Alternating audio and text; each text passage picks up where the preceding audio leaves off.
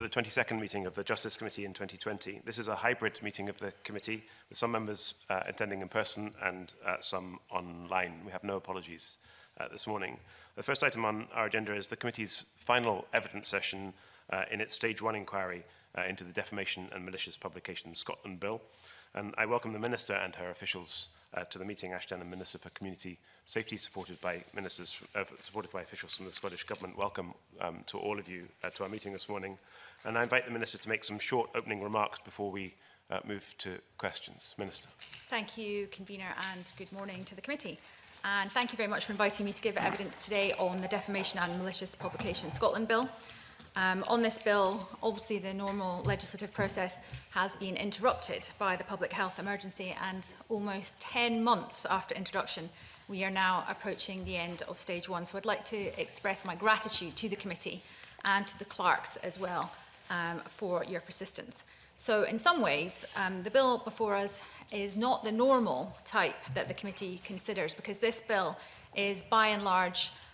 um, a product of the Scottish Law Commission. Um, as far back as March 2016, it published a discussion paper and more than four years later, here we are discussing the outcome of that work. So I'd like to thank the Commission for its careful and diligent work on this reform. So the bill takes forward all the substantive recommendations made by the Scottish Law Commission. It looked at defamation law in the whole, and we have before us is one bill that contains a substantial part of the law on defamation laid out now in modern language. The law of defamation has to strike the right balance between two values that sometimes pull in different directions. That's the principle of expression and protection of reputation. Now, both of those are fundamental human rights and are of vital importance in a modern democracy. Um, and I'd like to take a few moments to look at some of the changes that are proposed in the bill, none of which I'm sure will be news to the committee. So the bill defines what constitutes a defamatory statement, and this is a positive step to define what defamation is. Other provisions in the bill set out what defamation is not. And the standard common law definition was set out in 1934, and the bill takes this on but expresses it in more modern language. We introduce a threshold test of serious harm that must be met before an action for defamation can proceed. And in my opinion, the test is needed to ensure that only those claims where actual evidence of harm are allowed to proceed. We do, not we do not achieve an appropriate balance if we allow claims to proceed on the legal presumption that in all cases damage has been done. The bill makes important provisions covering the role of secondary publishers in defamation law and the current definition of publication is wide and means that the law can be abused to silence legitimate free expression. Secondary publishers can be induced to act as censors, removing content irrespective of its accuracy or its importance. And ultimately, I believe that it should be for a court to determine rights, not those who may be motivated by more um, by economics than balancing fundamental rights, and this is what the bill seeks to enable. Malicious publication is closely aligned with defamation, but it's distinct and it protects different interests, and the balance between the two should, therefore, I believe, be different. The Commission gave detailed and thorough consideration to this area and recognised that without it there'd be a gap in Scots law. And the bill doesn't weaken the current um, definitions, it merely replicates them. So finally, I'd like to touch on the Derbyshire principle. So I favour a statement of the principle in the bill that although public authorities have a reputation that may need to be protected, this um, must be done through the ballot box and not through the court. So overall, the bill aims to ensure that our law of defamation is fit for the 21st century. It provides a clear and accessible framework that more appropriately balances freedom of expression and protection of individual reputation. Um, I believe that the bill gets this balance right, and I'm happy to take any questions from the committee about how we have struck that balance. Th thank you, Minister. That's very helpful. And you've touched on a number of issues that members will want to explore with you that have been raised with us in our, in our evidence uh, sessions uh, to date. Can I, can I start with one of those areas that you, that you touched on, which is, um, of course, this is a bill that's, which emanates from the work of the Scottish Law Commission, but it doesn't mirror in entirety in its entirety the, the work of the Scottish Law, Law Commission. It makes some some some changes, some differences. Um, and one of those differences is that the Scottish Law Commission, as I understand it, did not recommend that de defamation be defined on the face of the legislation But the bill, of course, does that, and moreover does that in language which is different from the um, established language, language that we've used in uh, Scots law for some 80 or 90 years now. So can I ask, why did the government decide to depart from the Scottish Law Commission's recommendation and to um, uh, provide a definition, a statutory definition of defamation excuse me, and, and, and why did the government decide not just to uh, copy and paste the language that we've already used in Scots law for some 90 odd years uh, in, in doing that? Mm -hmm. Yes, you're quite right that, um, you know, substantively, this is the bill, you know, that the Scottish Law Commission developed. Um, and it varies from that in very few small number of areas and definition is obviously one of those areas. So, and the reason that we've done that is because reputation is of vital importance to individuals And the law of defamation is obviously about protecting that reputation. And I think the law around that, therefore, then needs to be as um, it needs to be as clear and it needs to be as accessible as possible. So having a, a definition, a statutory definition of that on the face of the bill, I think will help with that clarity. Um, so in terms of the, the phrasing, um, the Law Society, I think the committee's heard from them on this and uh, they said that the definition does reflect the common law test. And also, um, the definition is, is meant to be a simple restatement, um, but in modern language, of the common law test that um, was set out by Lord Atkin in the case of Sim versus Stretch. Um, as you've rightly pointed out, that is now 84 years old, um, and it sometimes needs to be explained to juries. And what happens is it's explained to juries in the terms that we have put into the bill. So I think that this is um, it's it's important And I think it's useful to have the definition there. Um, some of our witnesses have suggested that the bill um, could usefully state on its face that this definition is not intended to be set in stone. It's set in statute, but it's not intended to be set in stone. And, and, and uh, as defamation continues uh, to uh, develop, and in Scotland it, it tends to develop slowly, because we have very few defamation cases, the, the courts will want from time to time to revise and revisit aspects of the law of defamation, including perhaps its very definition. Um, and will want to ensure that, that, that, that there's a degree of continuity between the law after enactment and the law um, before enactment, especially if, as you've just said, the purpose of the definition uh, in the bill is to give effect to what the common law already um, uh, provides. So have you reflected on whether you think the bill could usefully be amended or whether you think it would be an, un un an unhelpful amendment if the bill were to say expressly that the court should continue to refer to common law as they develop the law of defamation through the, you know, the trickle, the handful of cases that do come before them in Scotland? Mm -hmm. I think that's a good point. I think that obviously the definition does reflect the common law and we've also got the explanatory notes that go along with that so I think anybody looking at that will understand that it, it does reflect that um, so obviously there are additional elements so you know you could be looking at the um, including the onus on proof of presumption or falsity or malice um, they are left to be dealt with by common law and I think that the court when they're looking at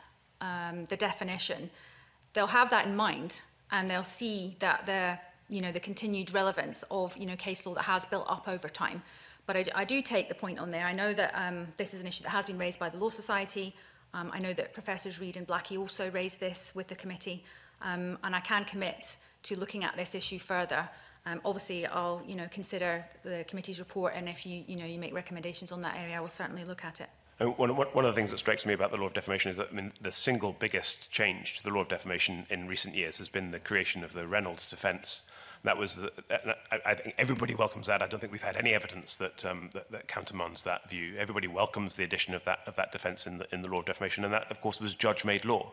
Um, that, that wasn't a defense that was created by statute. It was a, a, a defense that was created through, through case law in the ordinary way of uh, common law development.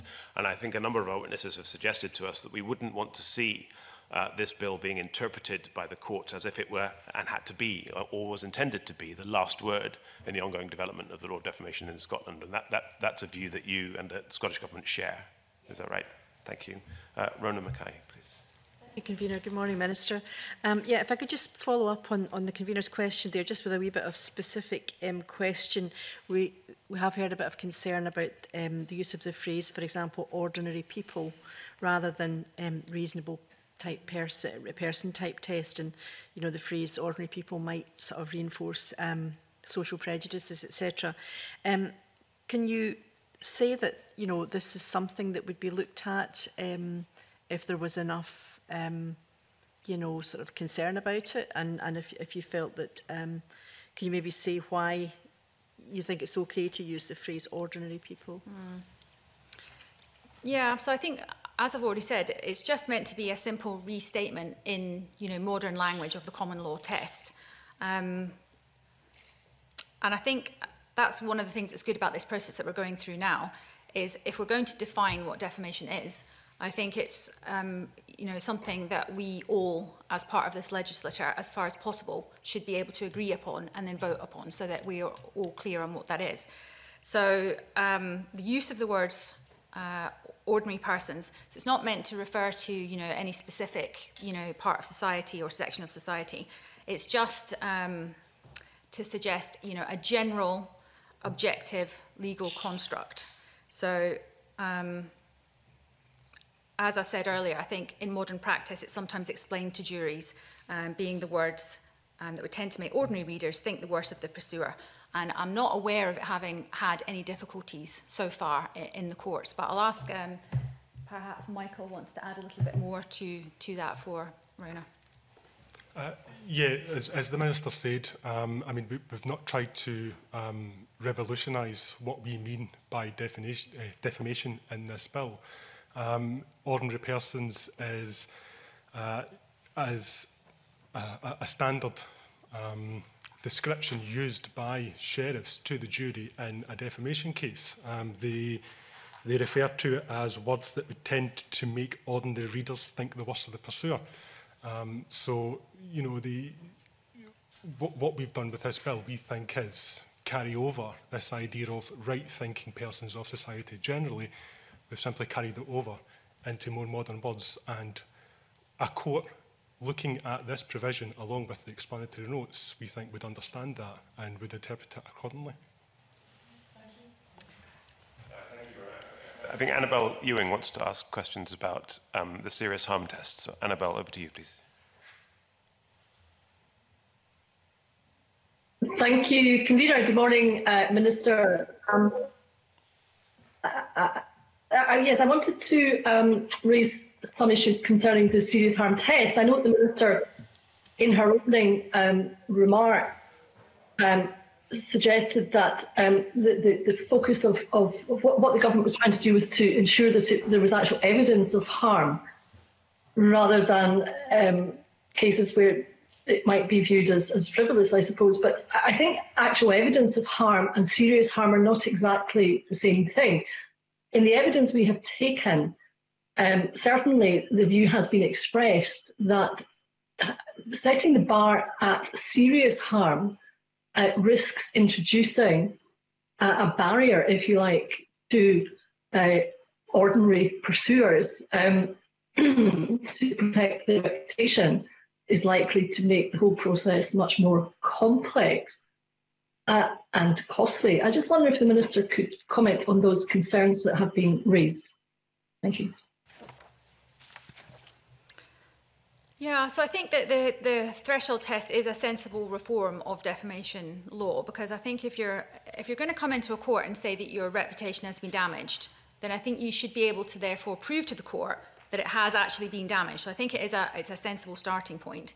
Um, And I think also it will give confidence as well to those who've been notified um, that a statement they've published is defamatory, that they'll be then confident that that damage will then have to be proved in the court.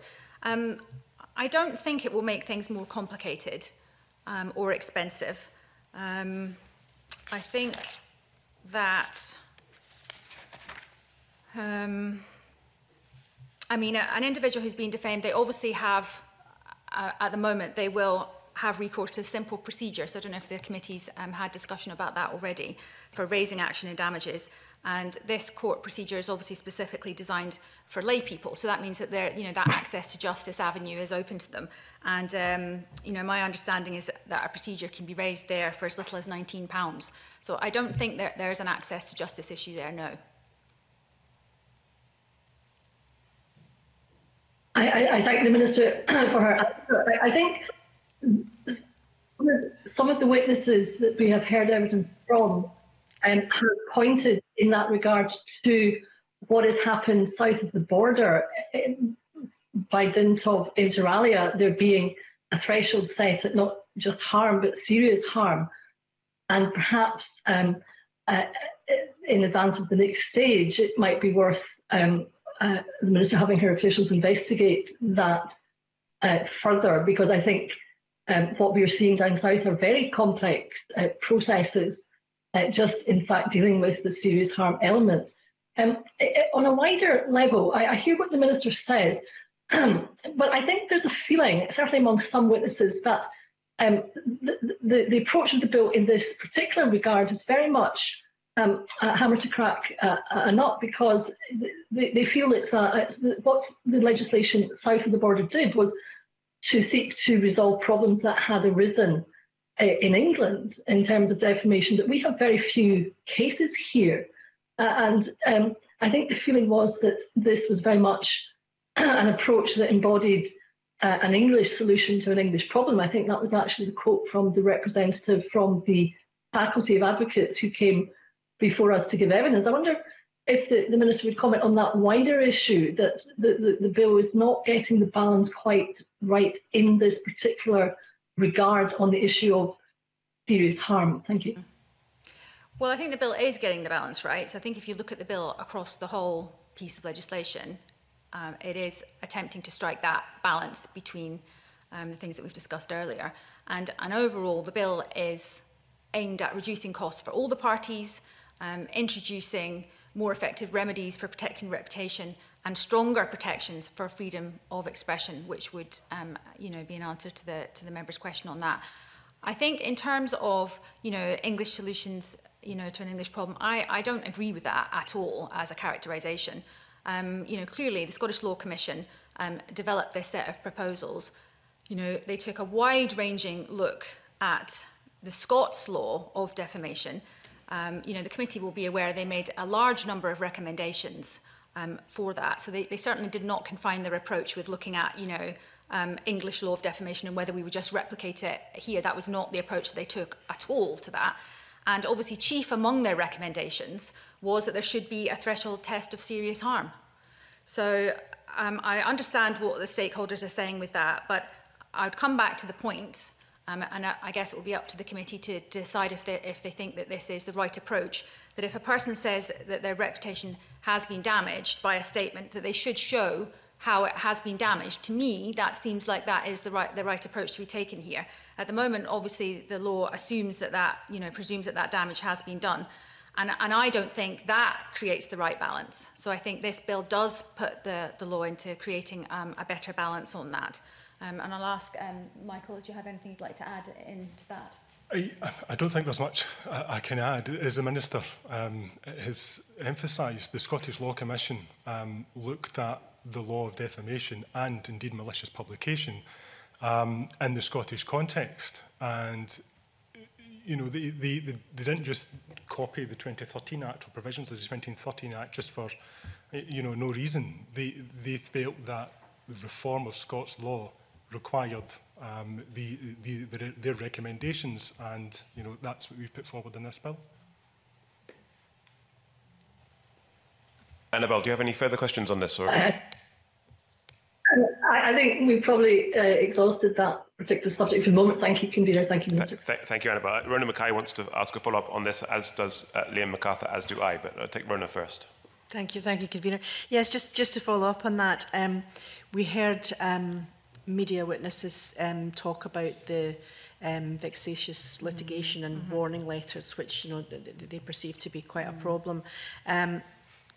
do you think the serious harm test will um, stop that happening? Because legal stakeholders have said it's kind of part and parcel of, of, of what they do and it's, it's, just, it's just the way it works. So do you see that the serious harm test having an, an effect on that? Mm. I would hope that it would have. I think it's, you know, it's difficult to quantify in advance, you know, how much an effect it would, ha would have or indeed, you know, how much an effect this type of thing is already having. I think, um, I think it would be very difficult to measure that at the moment. Um, I think the officials will probably get, be able to give some examples from England and Wales in a moment on how that is working down there, so we'll come to that point in a moment.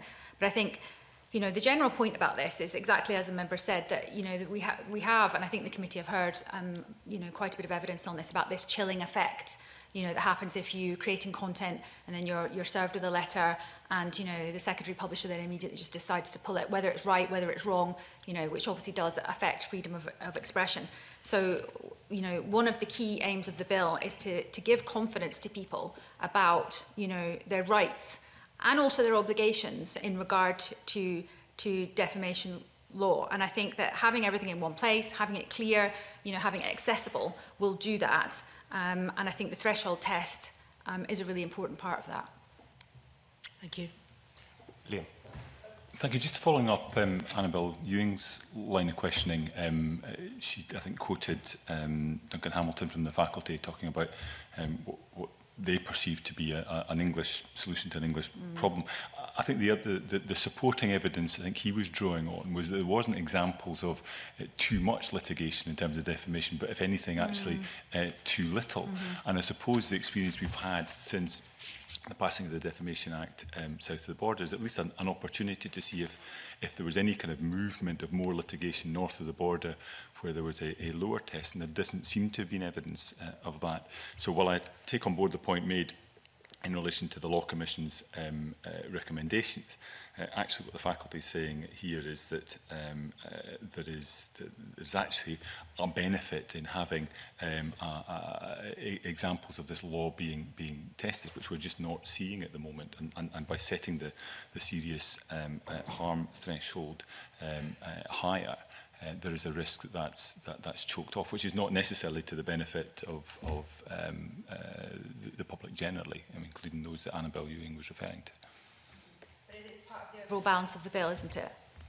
And so if someone is, is going to is saying that their reputation has been damaged, you would expect them to be able to show how it's been damaged. Would you well, accept that? I, I think that I mean that was certainly accepted, but I suppose the the, the, the the serious or the level of the, this, mm. the, the level of that harm mm. um, is then for the court to decide and will be reflected, in, I, I suppose in terms of any damages mm. that are, are ultimately awarded. Mm.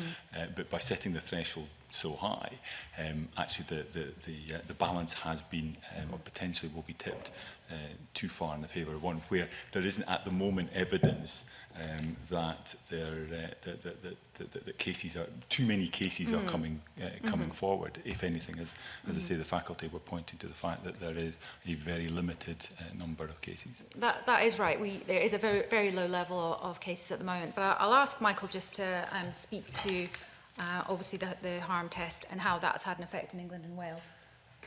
Yeah, I mean, in England and Wales, what we've seen is, you know, we've, the number of defamation cases have actually increased um, almost year on year since the 2013 Act. So it doesn't seem to have, um, you know, overly prevented cases from arising in that jurisdiction. There are, there are examples where courts have determined in individual cases that the threshold test hasn't been um, hasn't been met, and obviously they threw that out. And you know there are there are a couple of cases. If the committee wants, I can um, give them those examples. Um, I mean, uh, uh, in terms of the the, the threshold test and, and the level it's set at, um, I mean, the, the Scottish Law Commission have obviously considered all these um, issues and, and they made their recommendation that this was the appropriate level for um, cases uh, in Scotland, and you know that's what we have taken forward in this bill.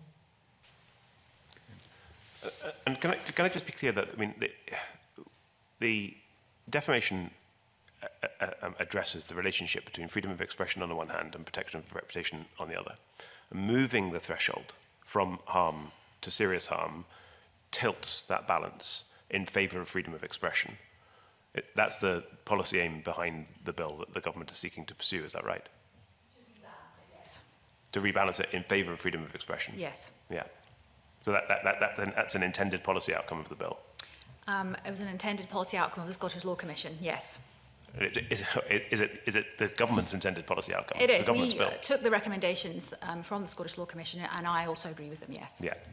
Okay, thank you. Um, okay, we're going to move to the Derbyshire principle um, and John Finney has questions about that. So, John, please. Thank you very much, Convener. Um, good morning, Minister and team. Um, Minister, the, this principle that public, a ban on public authority suing for def defamation, there's been a lot of discussion. This is uh, posed a number of questions in, in weeks. I'm sure you've followed that. Now, if, I noted you correctly this morning, you referred to the ballot box and not the court being used for issues. Um, we know that the definition includes uh, exemptions for business charities, businesses and charities from time to time deliver public services. I would have thought one of the challenges is that the, the contracts for the many different range of bodies that provide a, a wide range of public services. These contracts don't necessarily align with the local government or indeed central government electoral process. Um, stakeholders have concluded that Section 2, uh, the statutory version of the principle of the bill, both expands on the common law position, so a wider selection of organisations are prevented from protecting their reputation, whilst at the same time failing to protect all those who criticise public service delivery from defamation uh, litigation uh, arguably minister it satisfies no one can you explain the scottish government's rationale for legislating in this way please Yes, so uh, the aim of this provision is simply to, to place on a statutory footing the common law principle that um, public authorities cannot raise defamation litigation. And public authorities do have a reputation, as the member has noted, but they need to protect it using political means and not defamation law. Um, obviously, there is a public interest here um, that's served by allowing, you know, comment on the actions of democratically elected bodies, and that's the fundamental rationale behind the Derbyshire principle. Um, you know, I, I listened to the evidence that was given to the committee on this matter, and I think that, you know, it is universally accepted that this is a really important principle. Um, but perhaps there was a little bit of difference in, you know, in how that principle should be drafted. So, I mean, I just want to be quite clear that, eh, as far as I'm concerned, the bill before you today will protect those who criticise public service delivery, even if it's delivered by a, a private body. And you know, it's also my opinion that those who criticise public services provided by private companies are sufficiently protected by the provisions in the bill. But I'll let um, Michael explain you know, about the list of factors and also um, the member raised uh, um, some of the drafting about from time to time. So I'll let Michael um, just explain that a little bit more for the committee. Yeah, I mean, th this, um, this drafting um, appears um, in the 1998 Human Rights Act, um, and, and it's been used in a number of bills since then. So the, the courts have um, are aware of this form of words. They've interpreted it for more than 20 years, um, and we think that the the approach taken in this bill should mirror um, that approach um, or that form of words. Uh, the court, when it's considering public authority, will obviously take into account um, you know, certain factors about what that private company is doing, whether it's on contract. Um, you'll be aware that in, in Scotland here, um, the Lord Justice Clark Dorian decided in a case Ali versus Serco just last year um, on a number of factors or the, or the approach that the court would take to interpreting that form of words. And we think that the, the draft and, and the bill provides a, you know, a sensible and flexible approach to how the, the courts will interpret you know, what a public authority is for defamation law. Um, uh, thank you very, much indeed for uh, these replies. Um, um, certainly, notwithstanding what I've heard from both the Minister and official, the concerns remain about the drafting and uh, the suggestion that th this would increase uncertainty for organisations uh, outside the public service which deliver public services purchase of prisons and electronic monitoring. We've heard universities mentioned in the past. Eh, can I clarify, Minister? And I, uh, I, uh, uh, this would clearly have to be reflected in the, the committee's stage one report. Is are you plans to bring forward any amendments in this particular area at all, please? I don't currently have any plans to bring forward any, any amendments on this at the moment. I think, you know, we need to make sure we take a flexible approach with this um, so that courts can deal with um, complex cases, um, with nuanced cases. And I think also as things develop, you know, public service delivery um, is not what it was 20 years ago. So we, we need to bear that in mind and, and allow that sort of flexibility of approach. Um, I can say to the committee that I would certainly be happy to look at the committee's recommendations on this point and, um, you know, carefully consider that. And I, I will take another look at the evidence on this. Okay, thank you for that, Minister. That's reassuring. Thank you, Convener. Uh, thank you, Mr Finney. Can I just ask a follow-up question, Minister, about that? Uh, as, as Mr Finney um, has indicated in his questions, so, some of our witnesses have indicated that they think that Section 2 is too broadly drawn, and some of our witnesses have indicated that they think it's too narrowly drawn. And it seems to me, um, uh, speaking personally, that that, that that difference of view um, depends on what different people think the purpose of the rule in Derbyshire is. And there are two options, I think, and I, and I wonder what the option is that's preferred by the Scottish Government. The first interpretation of the rule in Derbyshire is that it's designed to protect people who are elected. Um, uh, sorry, it's not designed to protect them, it's, des it's des designed to capture only people who are elected. So that if you are elected, And, you, and, this, and this goes back to your original re remarks, which Mr. Finney picked up on. If, if, you are, if you are elected through the ballot box, then you do not have um, recourse to the law of defamation uh, if you are criticised by members of the public about the way in which you are performing your functions.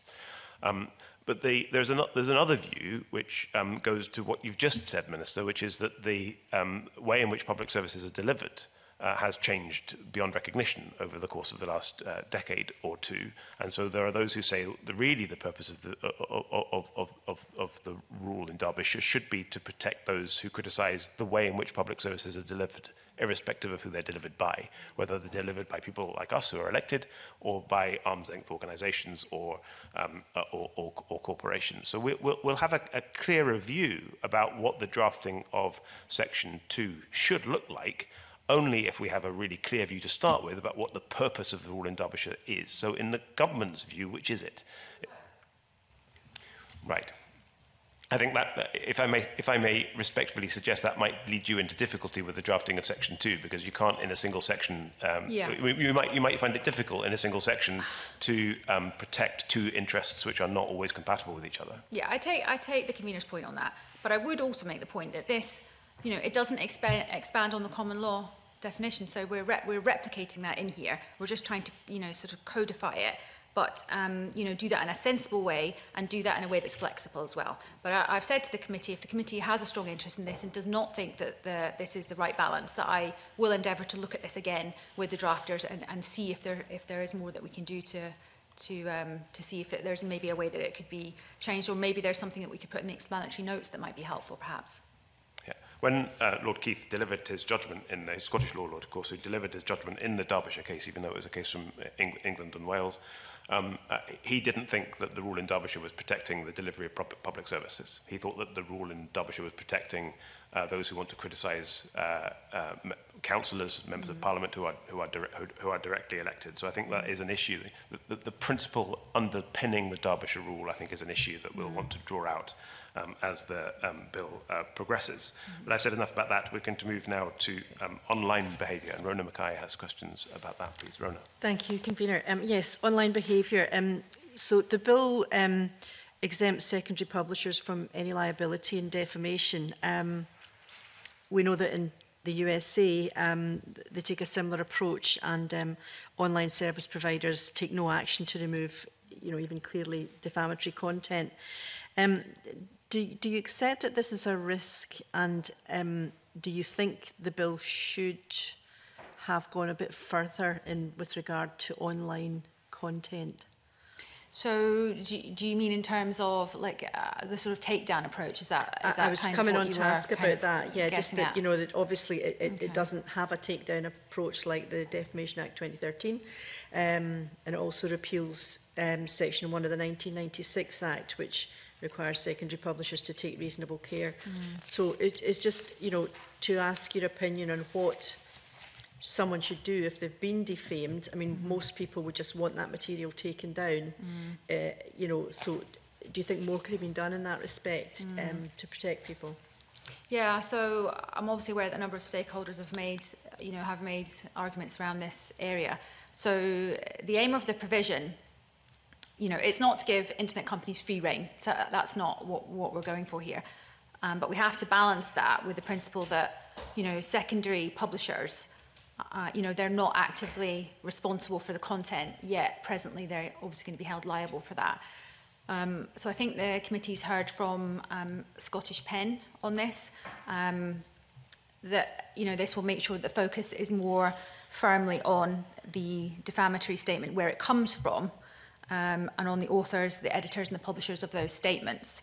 So I think, you know, in terms of takedown, I, you know, I think that that's, that is interesting. I'm wondering if, um, I think it's a lot more complicated. I think it, that superficially, it sounds like the takedown procedure sounds ideal. It sounds like that might, you know, be a silver bullet and it will fix these issues. I think in practice, the way that we are seeing that working down south shows that it is not as um, effective. I don't think it's working as effectively um, down there as you know, it was maybe hoped that it would do. So, um, Michael, could you um, explain for the committee a little bit about how that takedown procedure is is working or not working um, down south? Yeah, so I mean the the, the takedown procedure um, will usually involve a person who thinks they've been defamed by a, a statement contacting the the internet um, with a, a notice of complaint the, the internet, the website operator would, would send that notice to the person who has posted the statement. Um, and if the person who posted the statement um, you know, wants to stand behind it, then the statement stays up. Um, they don't have to pass their details on to anyone else. Um, the statement will only come down if you know that um, the uh, the person who's posted the statement doesn't reply to the notice of complaint. So you know, we, we think that that's a, uh, uh, unnecessary um, or uh, it, it, it goes against this idea about freedom of expression. It takes it too far. Uh, so we think that the, the approach we're taking in the bill to secondary publishers um, is appropriate and it allows the court to determine um, whether a, a statement is defamatory and whether it should come down and not just leave it up to um, the vagaries of the, the takedown procedure. I, I appreciate what you're saying. I, I suppose the only risk of that is that with the takedown procedure, it, it disappears and, and, and that, you know, is, is better for the, the complainant in that sense um, because, you know, court action and, and everything takes a long time and that, that statement, defamatory material, could still be there for some time. It's not defamatory. And if it hasn't been proved to be defamatory, been proved. then it, that isn't very good for the author. So we're back to the balancing act again, aren't we? Mm. Um, so, you know, in answer to your previous question about what does somebody do, you know, if there's a defamatory statement about them online. So obviously, you know, they, they could go to court, they could use the simplified court procedure, um, you know, they can use that without a solicitor if, if they want to. Um, the cost there start at, you know, as little as £19 and, and that procedure could then be used to ask the court for um, damages or for the statement to be removed from the website. So that, that's the sort of process, process. that somebody could go through. Okay. All right, thank you. Thank you, computer. Uh, thank you very much. Um, James Kelly, I think, wants to ask about um, the defences that are provided for in the bill. James. Uh, thank you, convener, and good morning, Minister. In terms of the defences that were codified in the bill around truth, honest opinion, and publication in the public interest, um, the, these were broadly welcomed by the witnesses that we heard from. Um, however, in in terms of truth, there was some concern expressed that only the sting of the allegation uh, needed to, to be proven, and also in relation to honest opinion, there was some concern that there wasn't enough protection for satire or hyperbole. Um, having li- having listened to, to these witnesses' concerns, uh, what's the minister's view on these, and are there any areas that you would consider taking amendments forward, uh, having having had the feedback from from witnesses. Mm -hmm. No, so I, th I thank the member for um, the question on that area. You know, this has been very, very carefully considered um, in the bill in order to strike the right balance, and, and I think it has struck the right balance there um, in terms of things like um, satire, hyperbole, etc. So um, I'll ask Michael just to, to go into a little bit more detail on the defences. I mean, in terms of satire um, and such, um, I mean, the, the Scottish Law Commission obviously considered this point, um, and they were of the view that the sort of the glue of the honest opinion defence is that the opinion is genuinely held by um, the person who makes the statement. Um, I mean, the, I think the Faculty of Advocates also pointed to a case, um, McLeod versus NewsQuest, which um, the court this, uh, took a look at um, the matter of satire or parody. Um, and it was a case where the action was raised um, about the content of a sketch piece, um, and it was dismissed on the basis that the ordinary reader would have understood that the article had been written for his or her entertainment in a cheerful irreverent and playful spirit, and it contained elements of fantasy. So we think that the, the, there is enough protection um, as it stands for satire and parody, um, uh, and you know we think that the, the drafting achieves the, the, the aims.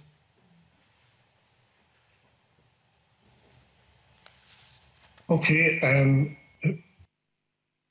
in interesting in that answer, you referred to previous case law. One of the issues that came up was that uh, people uh, understandably felt that uh, strong case law was going to be important in relation to defences. And as mentioned earlier in the session, there was a lot of support for the, the Reynolds defence and the principles around that. Um, the government given any consideration to setting out those principles on the face of the bill um, to make it clearer and stronger? Well, the bill does um, place the current um, Reynolds defence onto a statutory footing.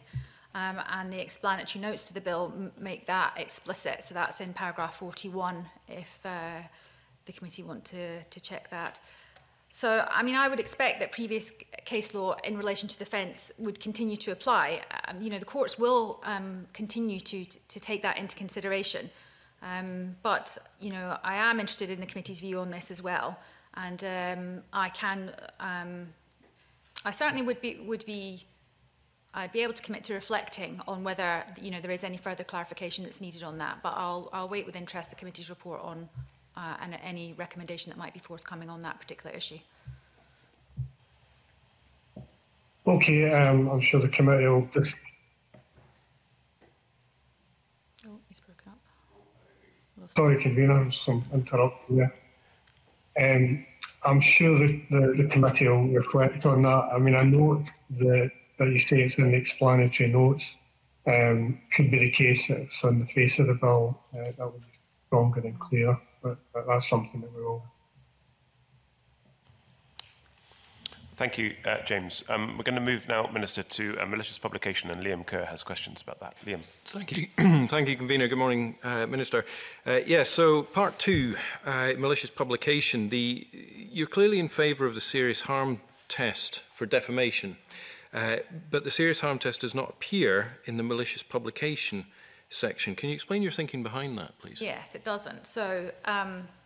obviously, you know, we have defamation. And then we have malicious publication, and I'm sure the members where they are distinct um, causes of action. So malicious publication obviously covers statements which are likely to be highly damaging, but are not necessarily defamatory. And I think um, we all would recognise that this difference um, results in a different balance being taken between, the, between those two things. So the bill doesn't lower the threshold for malicious publication compared to defamation, Um, it recognises there are two, you know, there are different actions.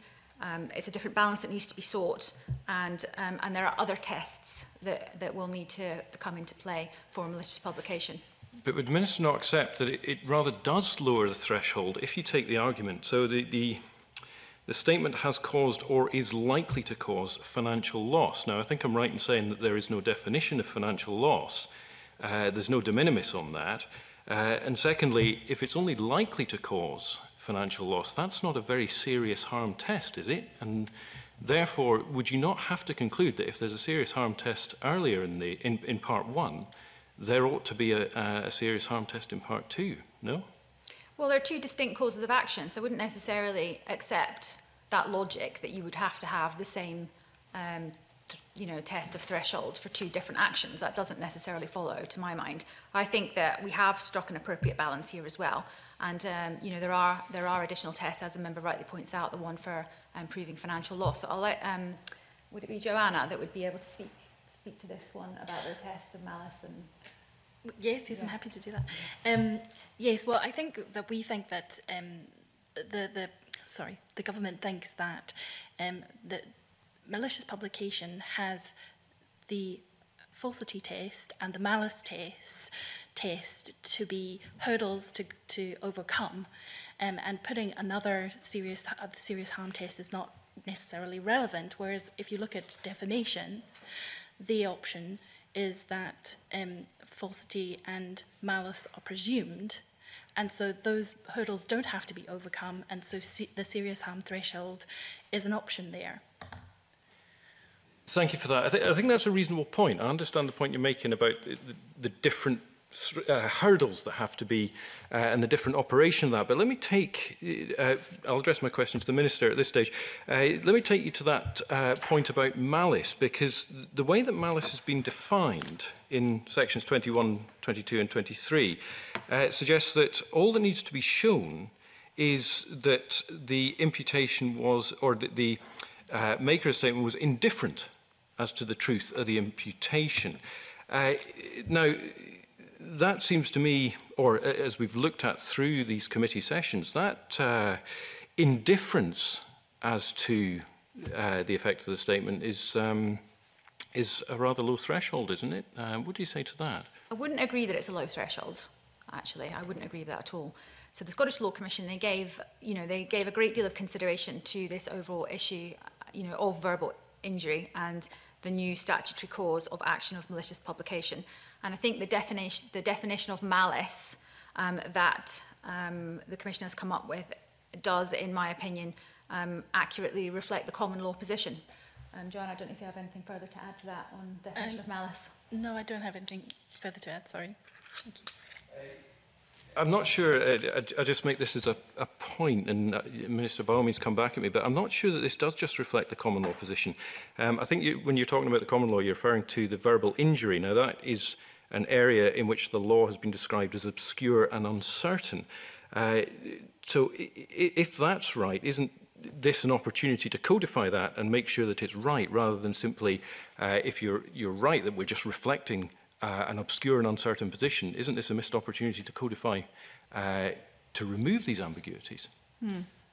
Well, I think the committee has heard some evidence on this, have, they, have you not, um, from the Faculty of Advocates and also from um, Dr Stephen Bogle, and they agreed that the definition is a reflection of the present law. A uh, further question, you've just uh, had questions from James Kelly around defences. Now, when I'm looking through it, so this is obviously a codification, as you say, uh, in part one of the current defences as they exist. I don't see the same defences applying in part two. Uh, now, if, am I right on that, that the defences don't apply in part two? And if not, why not? So it's not exactly the same. So, in terms of the defences, the defence of, of fair comment would apply and um, the defence of absolute privilege would also apply, and um, the defence of truth would apply. So those, those are the ones that would apply, and um, for malicious publication. So yes. I hope that does that clear that up for the committee. It does. Could you? Uh, it's a genuine question. Could you tell me how, where it does that? Like, what is it? So, so I accept the minister's assertion, um, but where is it that it says these particular defences will apply as a defence to Part 2? Okay, I'll let Michael um, give you the detail on that. yeah, I mean, the I think the, the, the defences, um, or the, the way the bill is structured um, with uh, Matthew's publication in Part 2, um, uh, I'm, I'm not sure um, that it's...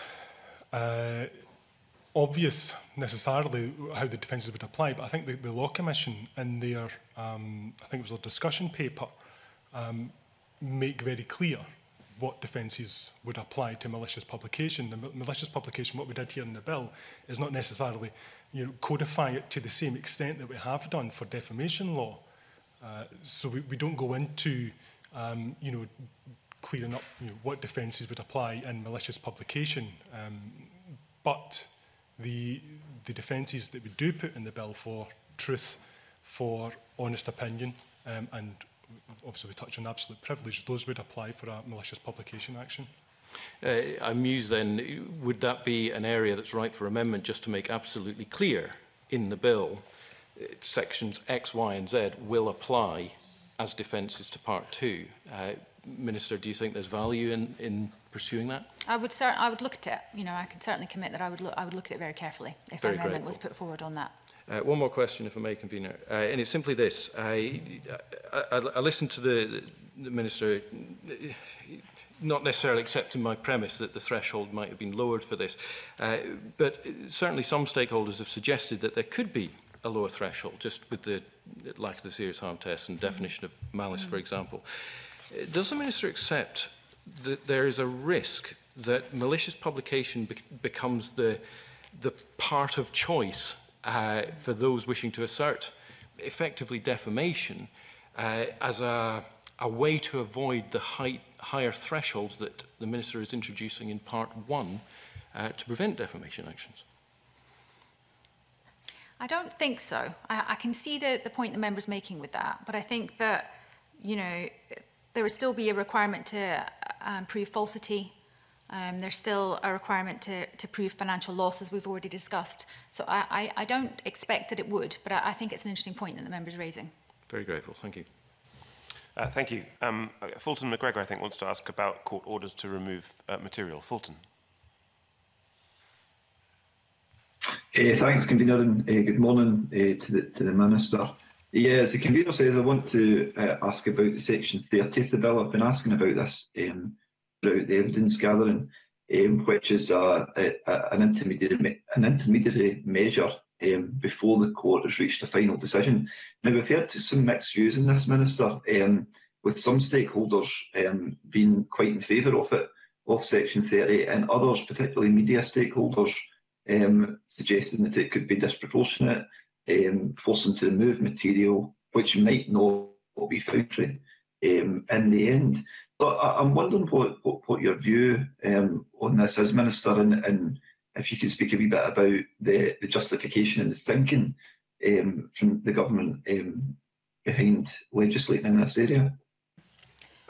Um, I think that's an important point that the members raised. Um, I think it would be helpful if I, you know, make clear to the committee that the power of the court to order the operator of a website uh, on which a, um, a defamatory statement is posted, um, you know, to remove the statement. So even if that's just as an interim measure, that can only be exercised once court proceedings have been commenced. So the court will have, you know, therefore an opportunity to hear from, from both parties where possible. Um, and I think it is important that the court has that, that flexibility to be able to, you know, in an appropriate case, you know, to take really prompt action um, to protect reputation. I would expect these type of cases to be really rare as well. Um, but I think it's important that we do have that provision in the bill. Um, I think the committee's heard evidence on this that you know that the approach is reasonable. You know that it's only likely to be used in um, you know when it's absolutely necessary that it needs to be used.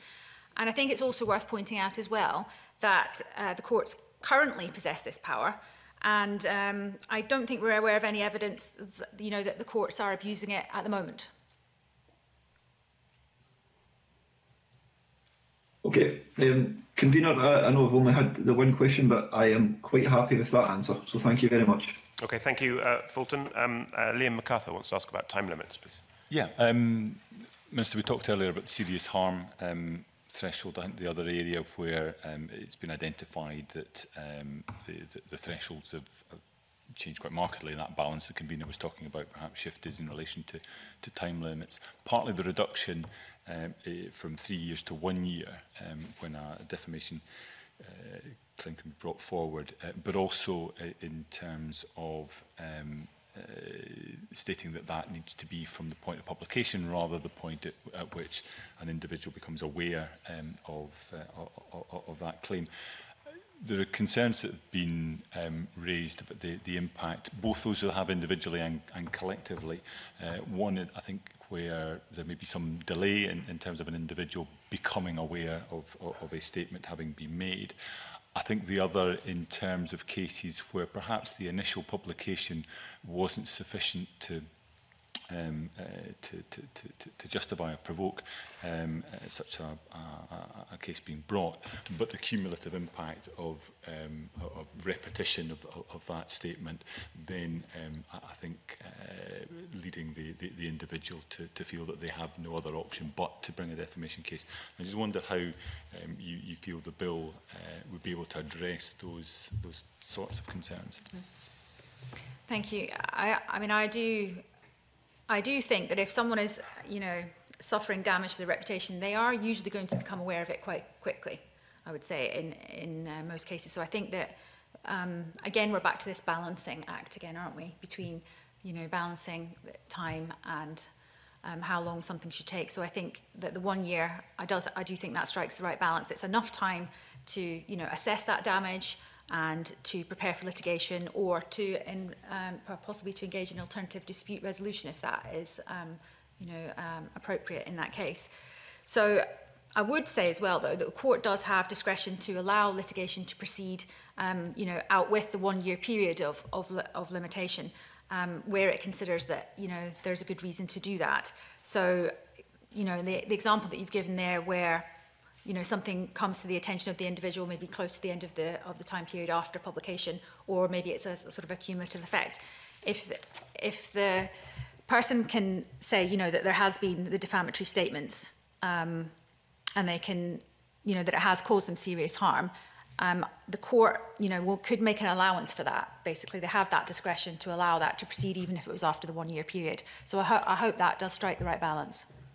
would that latitude the court have also address concerns that were raised, partly in relation to timelines but, but also in terms of the, the, um, the, the, the question around secondary publication, where actually where the, the statement's initially made, uh, because of perhaps the, the audience that that statement is able to, mm-hmm. to reach, the, the, the case for defamation is, is, is more questionable. But where repeated by um, uh, someone or, or, or, or, or on a different platform that has a far greater reach, um, the, the, the case for, for, mm. for defamation and, and meeting the serious harm threshold, etc., is more obviously made. Would the court have um, sufficient discretion to, mm-hmm. to uh, take that into account? It would, because if more prominence was given to the statement, you know, subsequent publication, um, that would, I think, be considered to be a material difference. And then that would um, result in a restarting of, of the one year clock. So I think this is quite a flexible approach. Thank you very, thank you very much. Also on um, flexibility in court process and in terms of balancing the various interests, Shona Robertson has some questions about protecting from unjustified threats. Shona, please. Thank you, convener. Um, good, good morning, uh, Minister. The first question I have is um, around the Scottish Pens uh, proposal to introduce a form of court action to protect against unjustified threats, which has received support from some stakeholders, others not uh, so supportive. Um, is this something that the, the government uh, consulted on, and can you say a bit about why it doesn't feature in this bill? Hmm. I don't think it is a good I don't think it's a good fit for the law of defamation, which is why um, it hasn't been taken forward. And it's also raised some potential human rights concerns, which I'll let the officials um, speak to in a moment. Um, I think an unjustified threats provision um, is likely to make things much more difficult. So I wonder if one of the officials could, Michael, would that be? Yeah, yeah Michael, will give a bit more detail on that. Um, I, mean, I think in, in terms of the unjustified threats, um, what we what we have found is that, or, or what our concern is, um, is that it, it won't have the intended effect that Scottish Pen think it would have. Obviously, they are They are concerned um, that uh, threatening letters being received um, will, you know, and obviously the effect that that has. Um, they think that having a, a, you know, the delict of unjustified threats would stop those letters. And it, it may very well do, but what we think it, it, it may do is instead just people will cut out that initial step and simply go straight to court, which I don't think is the, the solution that anyone wants. Um, obviously, unjustified threats comes from um, intellectual property law, and eh, you know their things are potentially more absolute than they are in defamation. Um, so ultimately, you know, it was, it was something that we consulted on, we considered, but ultimately something that we don't think should be taken forward. Can I just come back in on there, Kamina? I think as well, I mean, one of the primary aims of this bill is to simplify things uh, and to make it, you know, and to add clarity. I think, uh, you know, unjustified threats. I think it's go would add complexity that isn't necessarily appropriate in this in this area. So if you think about, um, you know, defamation proceedings, what we've got now is, you know, we've got the, the test of serious harm, we've got the new statutory defences, we've got the offer of amends. So all of these things, when you take them together, should give the defenders confidence to, to resist that threat of litigation. So I don't think that unjustified threats is um, it's warranted, and I also think it would just add, um, you know, complexity that isn't necessary. Okay. Um, I mean, while we're on that subject, then witnesses have um, also highlighted the what they perceive as the intimidatory nature of pre-litigation correspondence um, and have talked about a pre-action protocol which obviously exists in England for media and communication cases. Would that be a, a, a better way potentially of controlling the pre-litigation environment and is that something that the minister uh, would consider looking at some kind of similar protocol uh, in Scotland? Yeah, so I've seen some of the evidence that the, the committee's taken on this, and you know, I understand that it's felt that this is quite helpful in England. So it's certainly something that I um, I could I could look at, but it is a matter for the Scottish Civil Justice Council, though. Um, but if the committee are, you know, particularly interested in, in this, then of course I could write to um, you know, the Scottish Civil Justice Council on those terms, to, you know, to ask them to consider taking such initiative if the committee were of that mind. Okay, I think I think that would be helpful. That's obviously something the committee can discuss, but um, it would be helpful, I think, to know their views. Uh, and just finally, um, witnesses uh, to the committee have referred to uh, what they call anti-SLAP, which is the Strategic Lawsuit Against Public Participation Actions. Uh, as a more uh, direct way of dealing with litigation, uh, which is motivated by a desire to stifle criticism, so that in some North American jurisdictions, um, a defendant can argue that litigation threats threatens their right to free speech. And if the court agrees, the plaintiff must show that their action is more likely than not to succeed before they can continue. So It, eh, really, my question is what are the, the government's views on incorporating a protection of this nature into the bill? Is that something that you've considered? Um, I don't think that that would. It's it's not something that I've I've of a mind to kind of bring forward at the moment. I think you know the balance the bill is striking should give content creators confidence now um, in terms of um, you know you know, if they're publishing material that's in the public interest. So I, I don't think mm-hmm. something like that would be necessary.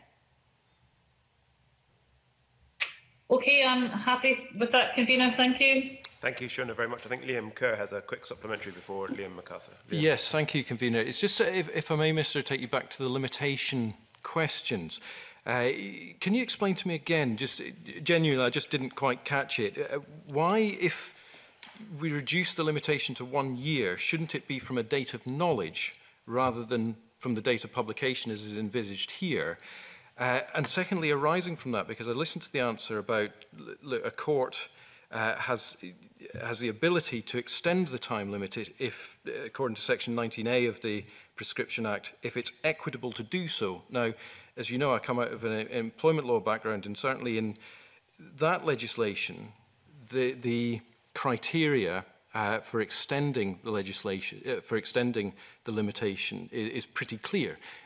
Now, might this be an opportunity to look again, is equitable the best test for extending it, or should it be uh, perhaps not reasonably practicable to have presented a claim within the one year? Mm -hmm. So uh, I, I think the, re, the you know the the motivation for reducing the, the time period, as I, I was discussing when I was um, speaking to Mr. MacArthur, is you know that this the, the, the fear, the threat of, you know, defamation proceedings um, on content creators, you know, years and years and years after uh, they've published that content, I think has a real chilling effect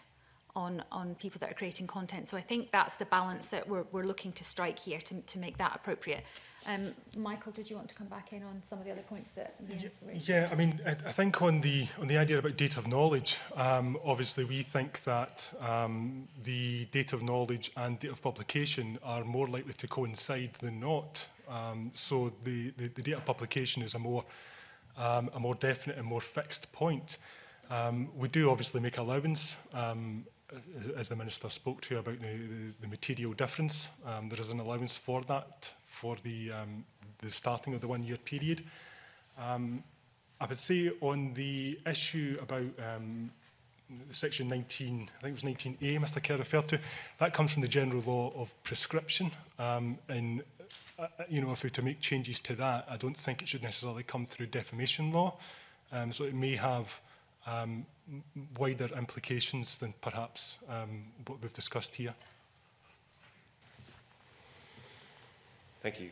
Liam MacArthur, please. Uh, thanks. Could I um, turn to the, the issue of um, accessibility we've kind of scuttered around a wee bit in, in, in earlier questioning, but um, I think one of the points that were made by um, media representatives, for example, is the changing shape of the media environment at the moment, um, the use of far more freelancers, for example, who um, often will not have the, the, the weight of a legal department behind them.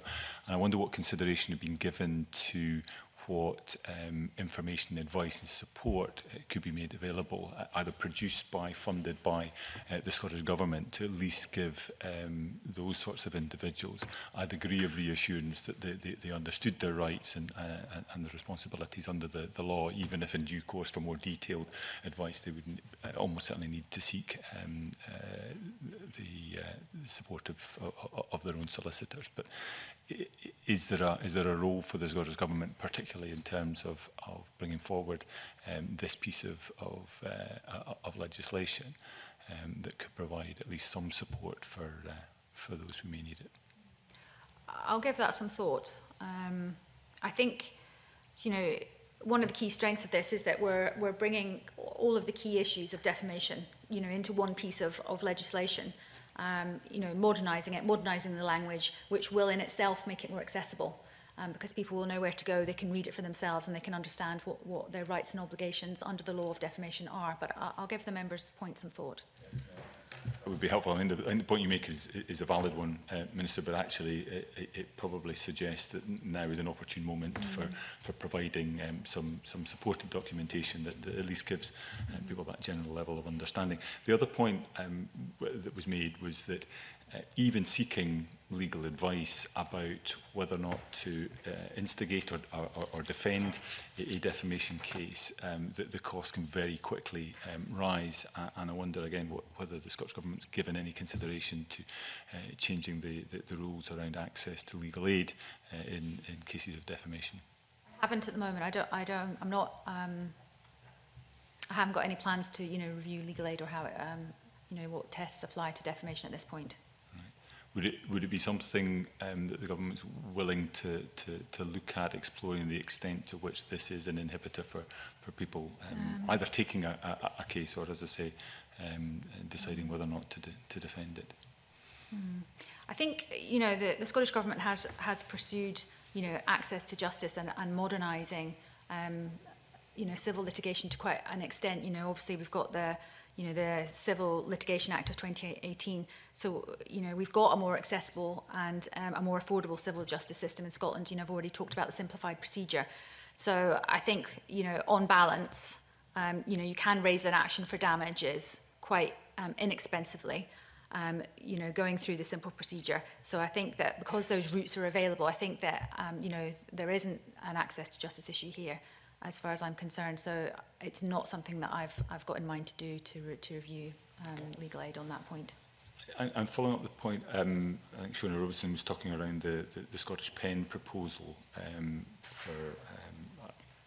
a, a sort of um, pre-action procedure that might um, uh, speed mm -hmm. things up, reduce costs, etc.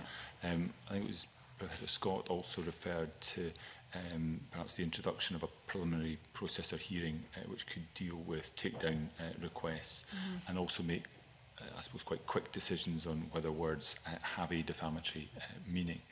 Um, and I wondered whether this was this mm. was mm-hmm. something that the government were prepared to, to look into further. Mm. I think I'm right in saying, my officials will correct me if I'm wrong, that both of those would come under the Scottish Civil Justice Council and under court rules that correct? They would do, they would do yes. Um, I mean, I think what perhaps Mr MacArthur um, is perhaps referring to is maybe more case management powers for sheriffs. Um, they would obviously be able to um, direct proceedings um, according to the nature of, of defamation. So there would be scope to um, have a single meaning hearing um, to attribute the, the meaning to the defamatory statement. Um, and certainly under simplified procedure, um, sheriffs have um, a great deal of scope for case management powers. Um, and I know that the, the Scottish Civil Justice Council were looking at a, a, a wider review of ordinary procedure, um, and, and one of that was to give sheriffs uh, more case management powers as well. So there's, there's um, you know, I think the, the direction of travel is certainly towards allowing sheriffs more freedom to direct the proceedings, and certainly that would be of value in defamation law. Right. I mean, maybe back through the, the, the minister. I mean, it, it would appear from what you're saying that a certain degree of latitude already exists, but, but I think from the evidence we've taken, there is perhaps a question as to whether or not that latitude is being uh, used as, as widely as it, as it were. So I think uh, uh as it should be, and, and therefore I suppose ahead of uh, investing further powers in the, the, this area, actually understanding why there may be a, a, a resistance to, to using them in the way that's been suggested might be a, a vulnerable exercise. I think that is a,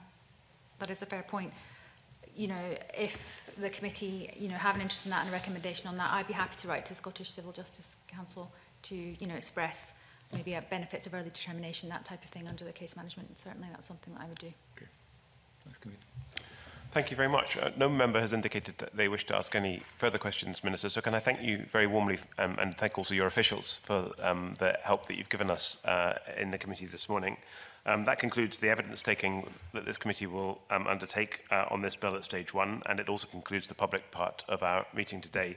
That our next meeting is a week today on Tuesday, the 29th of September, when we will take evidence from Gil Patterson, MSP, on his post-mortem examinations defence time limit Scotland bill. And we will now move into private session, but before we do that, I will suspend for five minutes. So We will reconvene in private at 11.17. Thank you.